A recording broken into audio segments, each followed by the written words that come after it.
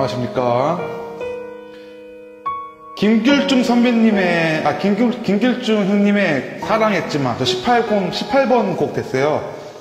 요즘 김길중 선배, 그 형님의 유튜브를 제가 댓글도 많이 달거든요. 특히 연기 선생님도 제가 댓글 많이 달고요. 너무 좋은 곡만 올려주셔갖고, 이 곡 제가 소화를 하실, 하실지, 하실지, 아, 떨려. 와, 진짜. 존경하는 분 노래니까 떨려. 아, 큰일 났다. 너무 떨리는데? 사랑했지만 끝내 잡을 수가 없어서 돌아서 버린 너의 뒷모습을 보고야 말았어 잊어야 하는 건가 봐. 이렇게 넌 가나 봐. 마지막이니 내 모습 보는 게.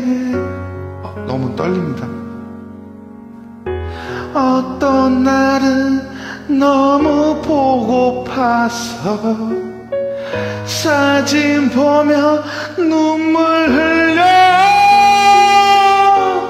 또 어떤 날은 목소리 듣고 봐서 늦은 밤에 수화기 들지.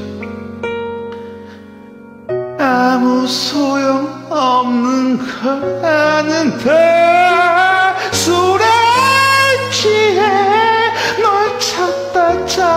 잠들고 하지.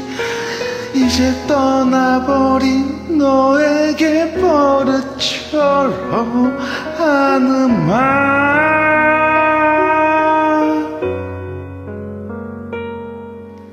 잘 살아줘. 근데 전 세계 국민 여러분들 저는 먹방하는 사람이에요. 노래하는 사람이 아니에요. 당근이 노래하면서 음치겠죠 제가요? 제가 음치예요 제가 음치죠.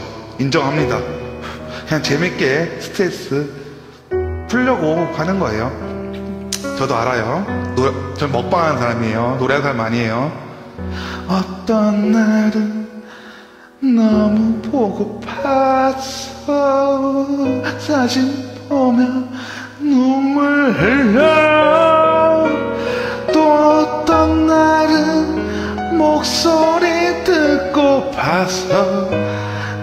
늦은 밤에 전 세계 여신분들에게 수화기를 들지 워 워. 아무 소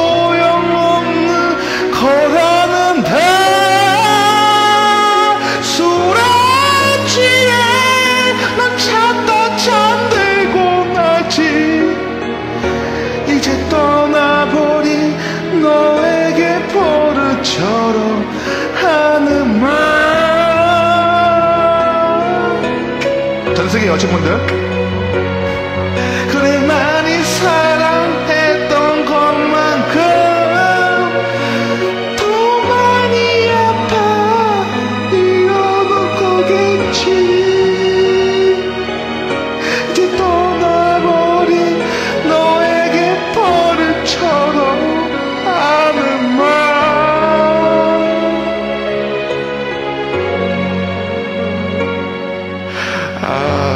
감정 들어갔다. 저는 노래를 이거 올리잖아요. 두세 번 안 해요. 한 번 딱 불러. 실수가 났다. 그냥 올려버려요, 저는. 왜냐하면 그렇게 올려야지 내가 몇 번 들어보고 다음에 또 올릴 때는 아, 이 부분에 대해서 내가 실수를 했구나. 여기서 음정이 안 맞았구나. 그래서 파악을 하거든요. 여러 번 부르고 또 아니다. 다시 부르고 못 마셔요. 어차피 부를 거 한 번 부르고 올려버려요, 유튜브에다가. 그래야지 다음에 듣고 듣고 듣다 보면 어느 순간 내가 이 부분에 대해서 실수가 했구나. 아, 이건 고쳐야겠다. 이런 생각을 하죠, 저는요.